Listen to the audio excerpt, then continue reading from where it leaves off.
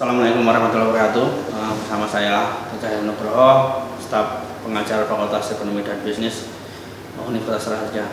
Uh, kita ketemu pada kali ini masuk ke pertemuan yang ke-11 uh, mata kuliah akuntansi manajemen. Pada kesempatan kali ini topik yang akan kita bahas adalah mengenai masalah internasional dalam akuntansi manajemen. Jadi dengan apa kita membahas topik ini mudah-mudahan kita diharapkan akan memahami hubungan bisnis secara global dan men bisa menjelaskan atau memperluas mengubah perspektif akuntansi manajemen. Jadi perspektif kita tentang akuntansi manajemen itu akan uh, lebih luas lagi. Baiklah kita mulai. Uh, apa yang dimaksud dengan bisnis internasional? tentunya kita sudah sering sekali apa, mendengar kata bisnis. Bahkan mungkin apa, di dalam pemberitaan di media massa kita sering bicara uh, mendengar tentang bisnis internasional. Ada apa bahwa perusahaan yang menjalankan usaha di negara asal dan negara lainnya mungkin menemukan bahwa praktek bisnis yang berjalan baik di negara asalnya tidak di negara asalnya itu ternyata tidak berlaku di negara lain. Sehingga bisnis membutuhkan akuntansi manajemen ya, untuk menangani masa-masa keuangan dan operasi bisnis sehari-hari. Sedangkan tugas yang berkaitan dengan perusahaan internasional lebih kompleks karena perubahan yang terus menerus terjadi pada uh, era globalisasi ini. Jadi di sini bahwa bisnis internasional kalau kita apa uh, membicarakan sebuah uh, perusahaan yang ternyata tidak hanya membuka perusahaan di dalam sebuah negara yang sudah stable dan ada di perusahaan lain ternyata kadang-kadang bahwa aturan yang berlaku di negara yang di mana dia sudah melakukan bisnis yang sudah mapan ternyata tidak berlaku di negara ini menjadi masalah dan ini akan menunjukkan akuntansi manajemen. Apa keterlibatan di dalam perdagangan internasional? Jadi kita masuk ke keterlibatan-keterlibatan dalam perdagangan internasional. Dalam bentuk sederhana, perusahaan multinasional atau MNC multi corporate multinational corporation ya, jadi adalah perusahaan besar yang terdiri dari perusahaan induk dan sejumlah divisi dari beberapa negara. Jadi ada tiga keterlibatan di sini. Jadi uh, yang kita bicarakan tentang, uh, ekspor dan impornya. Yang kedua adalah perusahaan yang dimiliki sendiri. Yang ketiga adalah joint venture. Jadi kita akan kupas nanti eh, hal-hal uh, apa uh, bentuk keterlibatan tersebut di dalam bisnis internasional. Impor dan ekspor ya dia. Suatu perusahaan bisa apa mengimpor atau membeli berbagai komponen dan, dan memproduksi produk akhir atau melakukan ekspor atau menjual produk ada ke negara lain.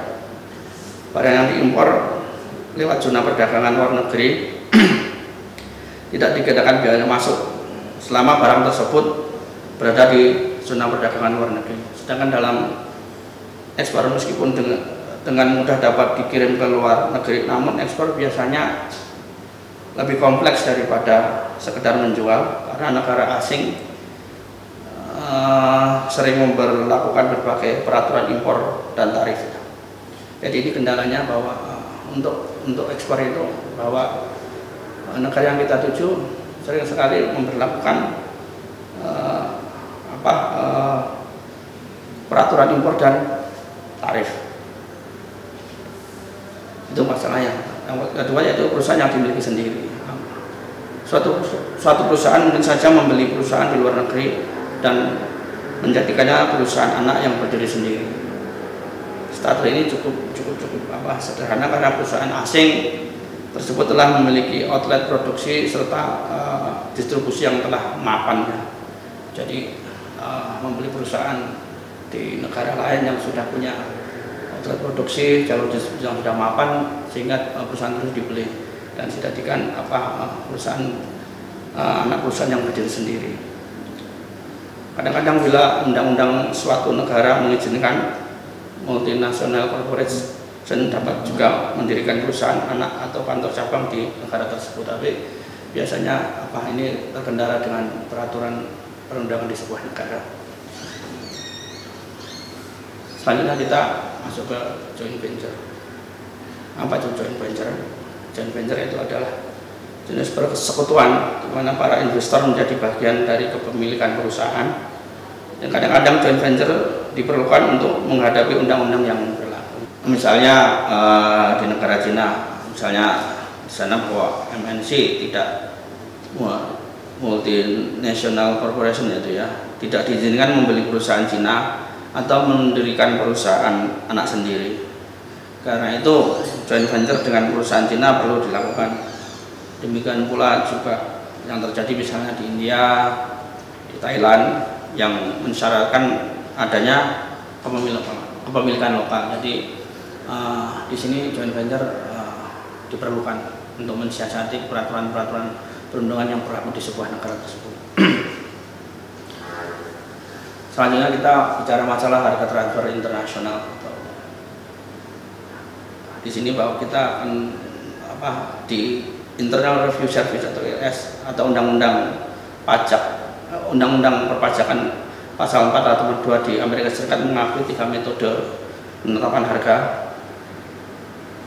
yang mendekati harga pasar yaitu pertama metode harga yang tak terkendali yang dapat diperbandingkan yang kedua adalah metode harga jual kembali dan yang ketiga adalah metode biaya plus. Di sini kita, kita masuk ke metode harga yang terkendali yang bisa diperbandingkan. Misalnya kita berikan contoh bahwa uh, sebenarnya pada dasarnya ini menggunakan harga pasar. Misalnya di sini di negara Belgia mentransfer komponen komponen ke divisi Amerika Serikat. Apabila harga komponen memiliki harga sebesar 50 dolar dan biaya pengiriman sebesar 4 dolar, maka harga transfer di situ adalah 50 plus 4 jadi 54 dolar.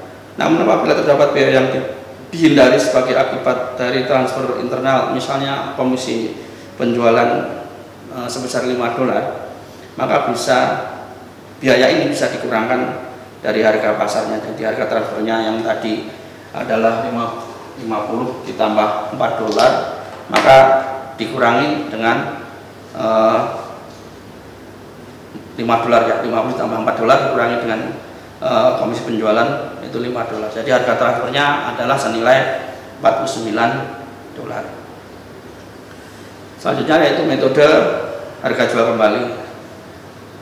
Uh, sama dengan harga jual yang diterima penjual dikurangi dengan markup yang wajar. Jadi perusahaan dan anak perusahaan membeli untuk dijual kembali, menetapkan harga transfer yang setara dengan harga jual kembali di perusahaan. Dikurangi dengan persentase laba kotor. Jadi misalnya divisi Amerika Serikat menerima barang dari divisi Perancis untuk dijual kembali di Amerika Serikat seharga 60 dolar. Divisi Amerika Serikat biasanya menggunakan markup 50% terhadap biaya. Jadi bisa diambil uh, bahwa harga transfernya menjadi uh, 40 dolar. Yang terakhir yaitu metode biaya plus. Adalah bahwa harga transfer ini berdasarkan biaya. Jadi biaya manufaktur produksi disesuaikan dengan biaya lain yang lainnya. Seperti biaya pengiriman dan pajak. Misalnya divisi Amerika Serikat memproduksi suatu produk dengan biaya produksi 25 dolar, produksi ini kemudian dikirim ke negara Brasilia dengan biaya pengiriman 3 dolar. Maka harga transfer adalah 25 ditambah 3 jadi 22, 28 dolar dengan harga ini disesuaikan dengan markup atas uh, produk tersebut. Jadi uh, itu tadi mengenai uh, metode penilaian harga transfernya. Selanjutnya kita masuk ke nilai tukar mata uang asing. Jadi uh, bahwa manajemen risiko mata uang asing atau currency risk adalah pengelolaan perusahaan terhadap risiko transaksi baik transaksi ekonomi maupun transaksi eksposurnya karena fluktuasi nilai kurs jadi ini perlu di, di apa uh, dikelola ada jenis risiko yaitu risiko transaksi itu adalah kemungkinan bahwa transaksi kas di masa depan dipengaruhi oleh kurs. Jadi kurs itu sangat mempengaruhi transaksi kas di masa depan karena memang apa fluktuasi nilai kurs itu tergantung dari apa uh, di mana uh, negara tersebut menganut sistem fluktuasi kursnya ya resiko ekonomi yaitu resiko atau ekonomi risk ini adalah kemungkinan bahwa nilai sekarang dari arus kas di masa depan dipengaruhi oleh fluktuasi kurs tukar. Jadi eh, lebihkan tadi bahwa apa yang berkaitan dengan eh, manaj, eh, akuntansi manajemen di dalam bisnis internasional hal-hal yang berkaitan dengan bisnis internasional yang bersangkut pautan dengan eh, akuntansi manajemen. Jadi uh, uh, saya kira pertemuan uh, pada kali ini saya cukupkan sekian. Uh, kurang lebihnya mohon maaf. Bila itu wassalamualaikum warahmatullahi wabarakatuh.